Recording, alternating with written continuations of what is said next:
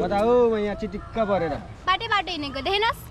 आऊ बस पुऱ्याइदिन्छु मेरो खुट्टा छैन ल तेरो खुट्टा काँधमा राखेर आराम गर नि त बस न